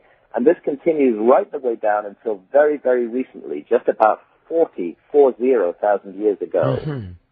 when suddenly it's like a light has been switched on all over the world Right. and everything that we regard as real human behavior appears as a package all at once. And, and right there with that package, the very beginning of the package are these extraordinary works of art that our ancestors painted on the caves hmm. in Europe and on rock walls as far afield as Australia and South Africa. Hmm. And the mystery of these works of art, and that was really what drove me to investigate us, is that the very first and earliest things they show are supernatural beings. Hmm. Beings of a kind that are not encountered in daily life. Typically, these would be creatures with the body of an animal and the head of a human being. Hmm. Now, where do we see such things? We don't see them in daily life, but we do see them in altered states of consciousness. This is one of the mysteries, is that the latest lab research, for example, Rick Strassman's research at the University of New Mexico, his volunteers were seeing exactly the same kind of mysterious supernatural beings that are painted on the cave walls And in the rock shelters from 35,000 years ago. Uh, and clearly, what they all have in common is an altered state of consciousness. In fact, it's obvious, it's evident, and most, the majority of anthropologists and archaeologists don't even bother to dispute this anymore, that our ancestors encountering and exploring altered states of consciousness was the very thing that made us human Right. shamanic techniques where perhaps they stumbled across uh, hallucinogenic plants. Initially by accident, they thought they were food items. They ate them and they had these amazing experiences which completely changed their outlook on the world. Sure. These experiences are still being had today by shamans. And if we listen to what the shamans say, they tell us that the spirit beings, the supernatural beings that they encounter in the other world are their teachers. That they teach them everything they know about how to bring healing remedies back to their tribe, about the properties of plants. That all of this is taught to them by the spirit world. And my suggestion is that this is exactly what happened to our ancestors hmm. 40,000 years ago. That they were lifted out of six million years of dull-witted stupidity and turned on into the modern, creative, spiritual creature that we have become by encounters with spirit beings. And those encounters were facilitated by a change of consciousness. And that change of consciousness was most likely brought about by initially the accidental consumption of hallucinogenic uh, plants. Um, so, so what I'm saying is it's not an accident that these plants have evolved alongside us. Right. And Right. that if we were wise in modern society, we would be looking for, for careful and intelligent ways to explore the mysteries that these plants lead us into instead of hysterically criminalizing and demonizing uh, their consumption. Well, as I said, I couldn't agree more, and uh, I look forward to uh, to reading the book. And uh, I've got to ask, why is is there any uh, is is this related in any way to the reason why it, why it's taking an extra nine months or ten months to publish it here in the states? Well, the feeling the feeling was that the book is just is just now um, out with uh, out, out with publishers in the states, and we're we're just at the point of doing a deal now, which is why I can say that it will definitely be published uh, in September or October next year in the states. But this is a this is a difficult and a dangerous subject. Yeah, yeah. Uh, know, we have a we have a thing called the war on drugs in our society, Yeah. where anybody who even mentions any mind altering substance in a positive light is seen as being extremely suspicious and, and, and, and dangerous. It's a subject that we just can't talk about uh, in our society. So yes, it has slowed down the publication of the book in the U.S. a little bit, but uh, that problem has been has been overcome. Uh, actually, I'm not advocating uh, the use of drugs. Uh, what I'm what I'm saying is that we need to listen to the wisdom of humanity as a whole, and the wisdom of humanity as a whole has indicated that certain of these plants, for example, the ingredients of ayahuasca found in the Amazon jungle, may play a fundamental role in what made us human in the first place, Right. and that it would therefore be very stupid of us uh, to fail to examine the changes of consciousness that these plants uh, bring. Uh, I've, I've become convinced through my own research, through my own experiences with ayahuasca and other shamanic plants, that there is indeed a, a supernatural realm and that it surrounds us and interpenetrates our daily lives in every way. Uh, but that normally we cannot gain access to it because we are so focused on just surviving in the physical uh, material world. Right. I think that everything that people call supernatural experiences, uh, whether it's encounters with fairies and elves uh, in the European Middle Ages, whether it's the beings that uh, that we like to call aliens in the modern world, I don't think those are nuts and bolts physical aliens from other planets coming here in metal spaceships. Right. I think they're much more like the spirit beings that shamans en- encounter. In fact, the connections are eerie and stunning between the, the beings that shamans encounter and, and so-called uh, alien abductions. Everything that we call ghosts and, and, and spirits, all of this uh, is becomes accessible to us if we change the level of consciousness. So when people have supernatural experiences, it's because their their state of consciousness has briefly been changed, mm-hmm. whether by electromagnetic fields, whether by the consumption of hallucinogenic plants, whether just because they are people who can spontaneously fall into that state of mind. And briefly, they've been allowed a glimpse into another reality. Hmm.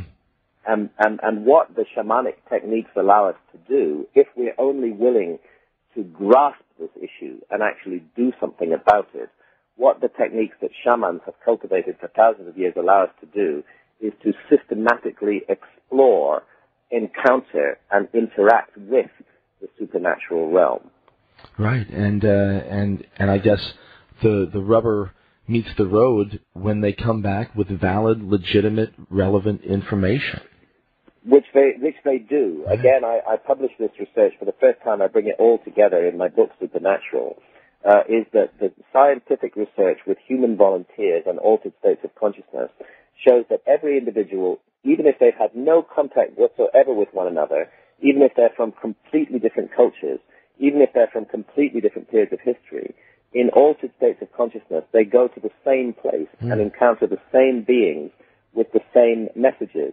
Now, if all of these experiences are completely unreal, then we cannot explain this universality and this commonality of experience. There has to be some basis of reality underneath it. Uh, and this is, this is an area that our society is utterly ignorant of and that shamanic societies are the experts in. As a matter of fact, many of the shamans I worked with in the Amazon feel a sense of mission. Mm. They feel it's important that they come to the West, that they come to North America, that they come to Britain, they come to Europe, and teach us how to reconnect with the spirit world. Right. Because they believe that, that the, the doom that Western society is spreading around the planet results from the fact that Westerners have lost their contact with the spirit world, that we've cut ourselves off from it and we desperately need to rediscover it. And they therefore believe that ayahuasca may be the vehicle for the salvation of the West and they feel a strong urge to introduce us to it. And, and I believe that this is very important work that they're doing. Wow.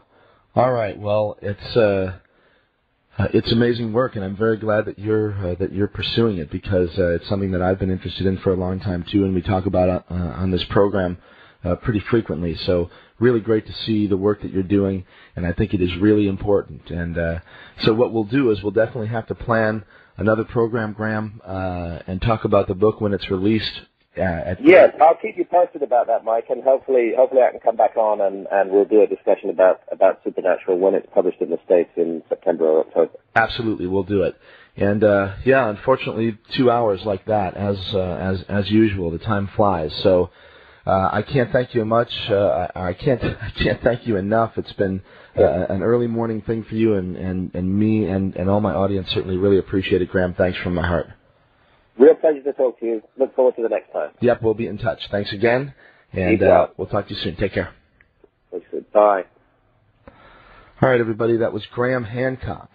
Thanks uh, once again for a wonderful uh, sharing of information and experience, and you can get more about Graham at www.grahamhancock, G-R-A-H-A-M, Hancock.com.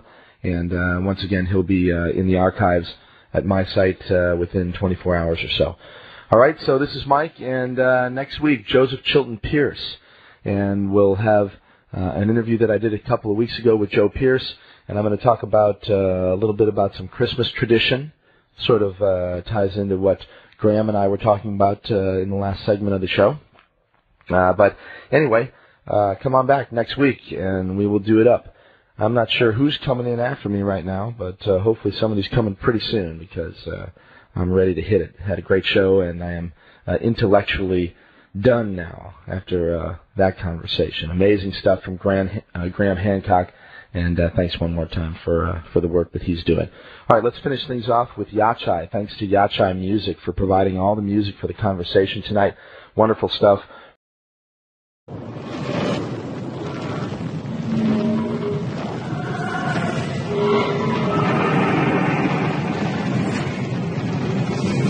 Yeah, well, I I've, I've spent I guess the best part of the last 15 years writing about uh, historical mysteries, right, writing factual books about some of the great mysteries of the past. But I, I certainly didn't start out with an interest in in historical mysteries. Um, I, I, I was originally a, a, journalist, and I spent a lot of time in Africa. Uh, I was the East Africa correspondent for The Economist, and based in Nairobi in Kenya, and traveling very widely uh, around that region. And back in the in the 70s and through most of the 80s, my uh, my interest was totally on current affairs mm-hmm.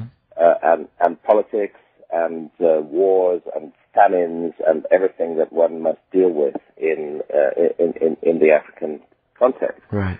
Um, what happened was that one of the countries that I used to visit very regularly for, for, for my work as a journalist was Ethiopia. Ethiopia was very much in the news in the 1980s yes. for, for sad and unfortunate reasons. Yeah. Terrible, a terrible famine and, and terrible series of, of, of wars yeah. racked the country um, and, and made it a, a, a, miserable and dangerous place to live during the 1980s. But I, I had to go there very, very regularly for my work. And while I was traveling in, in northern Ethiopia, uh, I visited a, a, a, historic city called Aksum. And at that time, uh, Aksum was completely, it was in the hands of the government, but it was completely surrounded by rebel forces. And so the only way into it was to sort of dive down into it in an, in an ancient uh, airplane and hope not to get shot out of the sky, uh, which is, which is what we did. And, and, in Aksum, um, I, I came across the most extraordinary story. Um, the, the, it's a sacred city. It has a, it has a cathedral, the Cathedral of mm. St. Mary of, of Zion. It's important to register that Ethiopia is a very ancient Christian country. Uh, and in fact, it, it adopted Christianity long before Europe and and uh, Britain did, for example. Mm-hmm. Ethiopia is one of the oldest Christian countries on, on earth, and and in Axum, uh, I found talking to the monks and the priests of Axum, uh, this, uh, the, the, that they were making the most amazing claim. They, they said that their city was the last resting place of the Ark of the Covenant. Right, right, right. Uh, now this is this is the same Ark of the Covenant that uh, that we're all familiar with from the wonderful Indiana Jones movie mm-hmm. Raiders of, of, the Lost Ark, which had been released actually not long before uh, I went to Aksum, so I immediately pricked up my ears and thought, what, what, what on earth is this about? And I, I was taken to a, a, a chapel surround, surrounded by steel railings in the, in, in the, the courtyard of the, of the uh, Cathedral of St. Mary of Zion. And there I met an ancient monk who, who was the guardian of the Ark, and he explained to me very solemnly that in the building behind him was the Ark of the Covenant. Really? And it was his role, his responsibility, his sacred trust to guard and protect uh, the Ark of the Covenant. And could I see it? No, certainly I could not see it. As a matter of fact, nobody was allowed to see it uh, except him. Um, and uh, in fact, it was a very dangerous object uh, in, on such rare occasions that it was brought out of the chapel. He explained that it was always wrapped. Ethiopia at that time contained a, a population, a Jewish population, and these were, uh, they were called the Falashas, and they were also known as the Beta Israel, the House of Israel.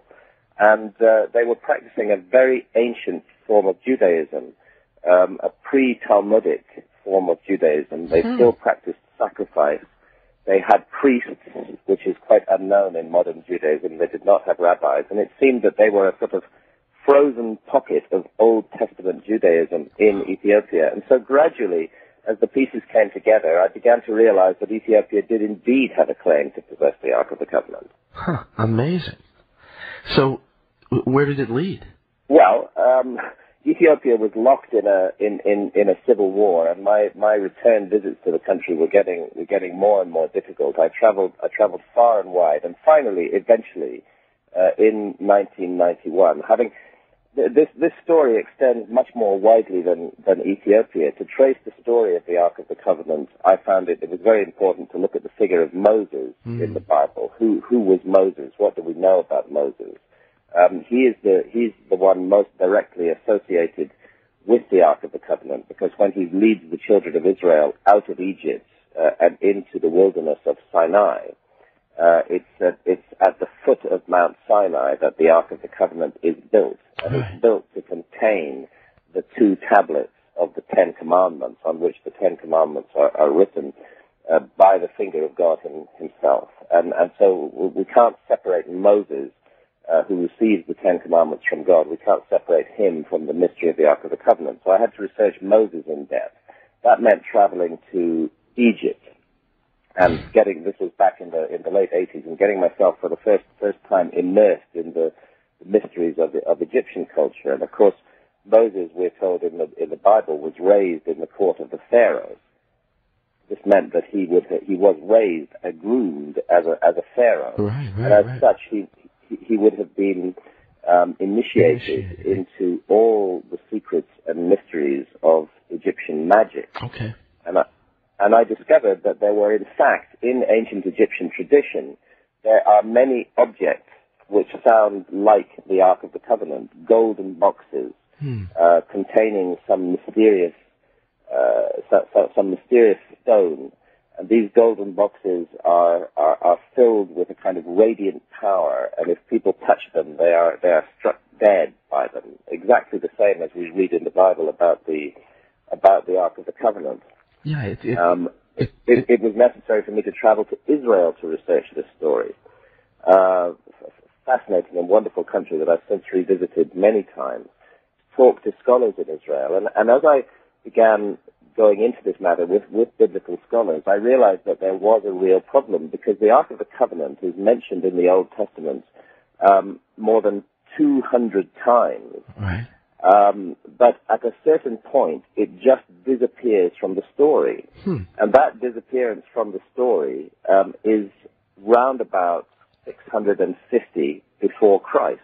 It just vanishes completely from the story. And a hundred years later, uh, the city of Jerusalem is invaded and destroyed by the Babylonians. But at that point, it's clear that the Ark of the Covenant has already gone missing. The Babylonians don't get it. It isn't listed amongst the objects stolen from the temple by the Babylonians. So at that end, too, there's a great mystery. This object just vanishes from the story. And, and I began to realize that there was a strong case that it could have gone to Ethiopia. And, and I investigated that case in great depth in, in uh, cloth and in leather bindings. And this was to not to protect it from the public, but to protect the public from it. Yeah. Um, and, and I thought this was the most the most extraordinary and fascinating story. But obviously, I wasn't sure whether whether there was any truth to it or not. It became it became something that I wanted to investigate. Was this just a bunch of crazy old monks spinning a story, Right. um, or was or was it actually possible that it that it could be true? And and during the 1980s, really as a kind of background to other things I was doing, and without any particular focus, I began to gather information on this story. And I began to talk to academics and scholars about it. And I found most of the academics were very dismissive of the Ethiopian claim. Yes, they had heard that Ethiopia claimed to possess the Ark of the Covenant, but no, it couldn't possibly be true. That tended to be their attitude. And yet I hmm. found that these, these were people who really knew nothing uh, about the Ethiopian claim. And the Ethiopian claim, as I discovered was, as my research continued, extends much further than Axum. In fact, every single church in Ethiopia, Christian church, contains a replica of the Ark of the Covenant, which is kept in its Holy of Holies. Hmm. We're talking about more than 20,000 churches with 20,000 replicas here. And these, these replicas are so important that if they're taken out of the church, then the church ceases to be a sacred building. It's, it's deconsecrated. So there was clearly some, and all of them gained their power by reference to the original Ark of the Covenant in the sanctuary chapel in Axum, In Axum, in, in right. northern Ethiopia. Right. And I felt that something so widespread and so so intense and so strongly felt throughout the whole culture couldn't just be based on nothing, uh, as the academic said. So I so I continued to research and investigate this matter further, and I found that there were many anomalies and many problems. For example,